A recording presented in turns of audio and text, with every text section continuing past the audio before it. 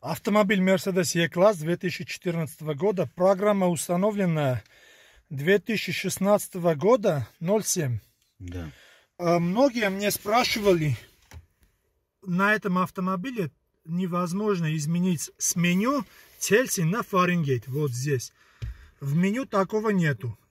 Это возможно через только к центре диагнозис. Вот здесь я покажу, что подключен.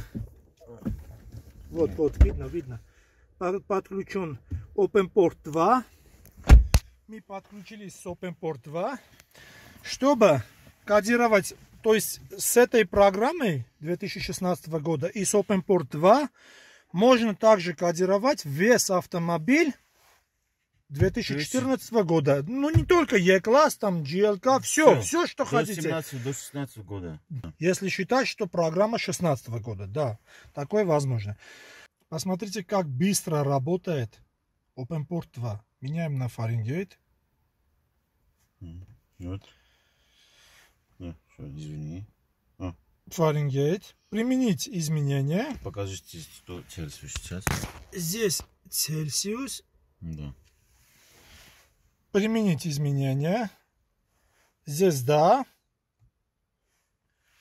И здесь уже Fahrenheit. То есть секундное дело. Сейчас там, там Там я покажу и как нажимают на применить. Посмотрите, как быстро это делается. Угу. Нажимает. Все, даже секунда нету.